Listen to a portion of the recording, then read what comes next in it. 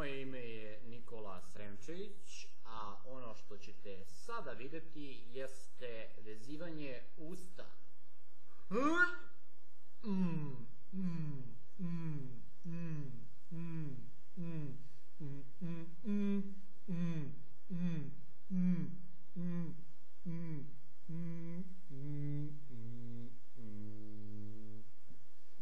Ja imam talenat.